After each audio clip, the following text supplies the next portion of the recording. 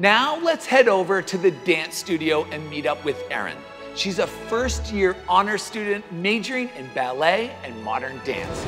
She's gonna share her story of her exceptional first year at TCU and the university's ongoing work towards inclusive excellence. Erin, please take it away.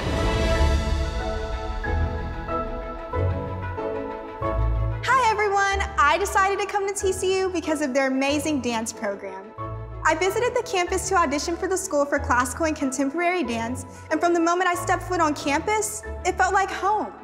I was able to take class with some of the first year dance majors at the time, and everyone was so nice and welcoming, which immediately stood out to me.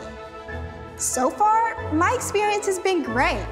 Coming from Georgia with no familiar faces, I was nervous to be in a new environment. However, I love how open everyone is to meet new people, and I never feel intimidated to make new friends because everyone is so inclusive and accepting. Whether you are relaxing in the lobby of your residence hall or standing in the line for a meal, there will always be someone willing to talk to you and make your day better, from students to faculty and staff. I have had the privilege of co-starring in the Netflix original movie Dolly Parton's Christmas on the Square. It was such an honor to be able to dance, act, and see myself on the big screen. I hope to have many opportunities like that in the future, and I know TCU is a place to get me there. As an honors student, I am so pleased with how engaging the classes are. The professors are so nice, and they want to communicate and get to know you on a personal level outside of class, which is great. This year, I had the opportunity to live in Milton Daniel Hall, the residence hall for honors students. The facility is gorgeous and it is such a comforting environment that encourages making connections with your peers while also placing a strong emphasis on academic excellence. One thing that I love about TCU is their efforts to make everyone feel welcome and included on campus. Bringing students from different countries and backgrounds together to find common ground, have a good time, and learn from one another is where TCU shines. There are events celebrating diverse voices and a diversity, equity, and inclusion course was added to the core curriculum.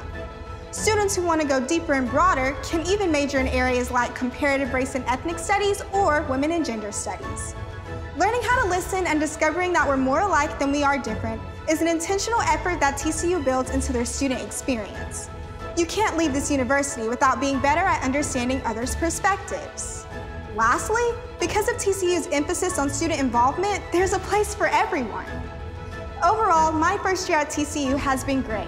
I couldn't have asked to be a part of a greater community than my Horned Frog family. That's my story. Now back to Alex. Erin, Thank you for sharing your story. I love hearing about the welcoming campus culture and everything you've accomplished during your first year on campus. It's truly incredible. Thanks again, Erin.